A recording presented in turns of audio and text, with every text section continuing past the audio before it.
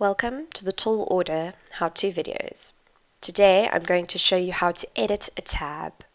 As you can see we have one tab open on the right.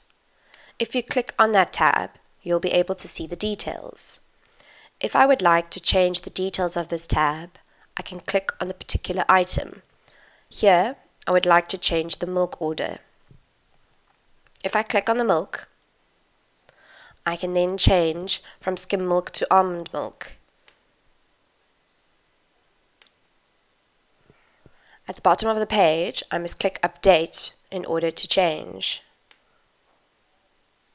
Now, at the right of the page, you can see 1 times coffee, which the portion is still small, and 1 times almond milk.